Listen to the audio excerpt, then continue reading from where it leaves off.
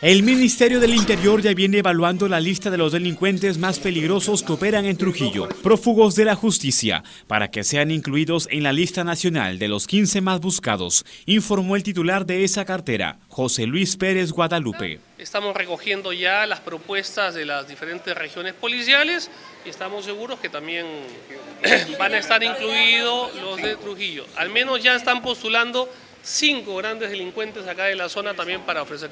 Todavía espero porque es una propuesta, recién la comisión evalúa, de esos cinco, tiene que evaluar efectivamente su requisitoria actual y todo lo demás. Explicó que la lista nacional no es única y que este irá cambiando cada mes.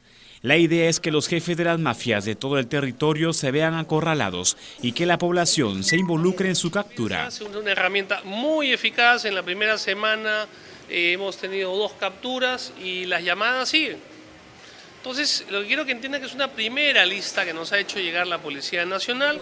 También enfatizó que se viene trabajando con el Poder Judicial y el Ministerio Público para que la policía recupere el principio de autoridad y los agresores contrauniformados sean castigados con todo el peso de la ley tras el ataque que sufrieran efectivos policiales en la localidad de Tayacaja, región Huancabélica.